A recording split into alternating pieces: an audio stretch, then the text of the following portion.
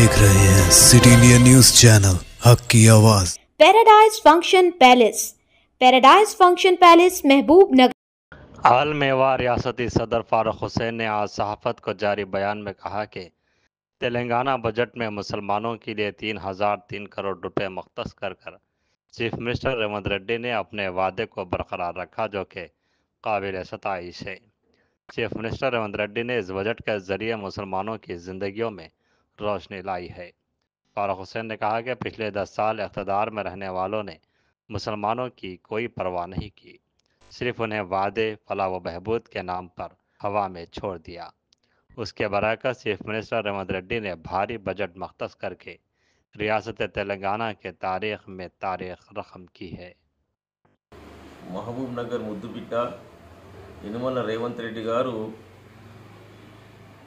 ప్రవేశపెట్టినటువంటి రాష్ట్ర బడ్జెట్లో తెలంగాణ రాష్ట్రంలోని ముస్లింల సంక్షేమానికి మూడు వేల మూడు కోట్లు కేటాయించడము ఇది తెలంగాణ రాష్ట్ర చరిత్రలో ముస్లింల సంక్షేమ చరిత్రలో సువర్ణ అధ్యాయంగా నిలిచిపోతా ఉంది.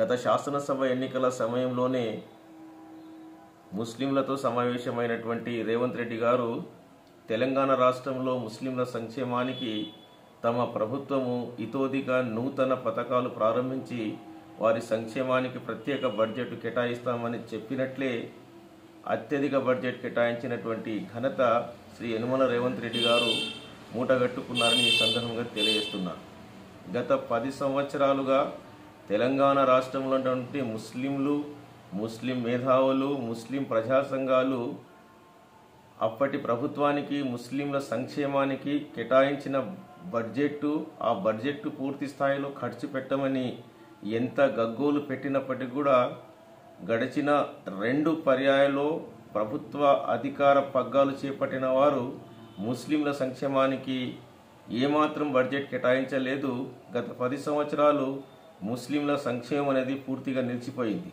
అదేవిధంగా ఆ పది సంవత్సరాలు ముస్లింల చరిత్రలో చీకటి అధ్యాయంగా మిగిలిపోయింది. గత పది సంవత్సరంలో ముస్లిం నాయకులంటే ముస్లింల ముంజేటికి దట్టీలు కట్టేవారని వారిని పొగడ్తలో ముంచి తెనాలి రామకృష్ణులుగా పనిచేసే వారిని వారు చేరదీశారు. ఎప్పుడు కూడా ముస్లింల సంక్షేమాన్ని గురించి మాట్లాడే వారిని అప్పటి పాలకులు దరిచేయనీయలేదు. అందుకు విరుద్ధంగా రాష్ట్ర ముఖ్యమంత్రి ఒకేసారి మూడు వేల మూడు కోట్ల రూపాయలు కేటాయించి ముస్లింల సంక్షేమానికి ఒక సువర్ణ అధ్యాయాన్ని ప్రారంభించడం పట్ల తెలంగాణ ఆల్మేవా ఈ సందర్భంగా రాష్ట్ర ముఖ్యమంత్రి గారికి అభినందన తెలియజేస్తోంది.